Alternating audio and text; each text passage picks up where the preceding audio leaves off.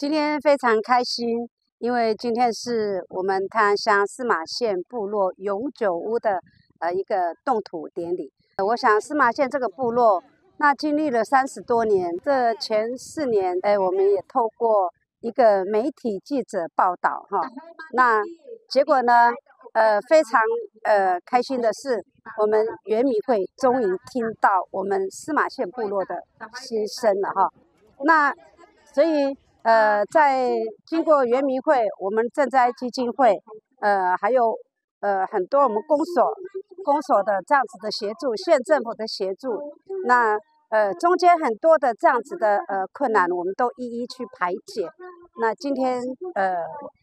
终于要去动工。今天是我们苗栗县泰安乡司马县部落家屋。重建动土典礼的活动，那我们司马县部落呢，其实历经了三十几年的一个筹划，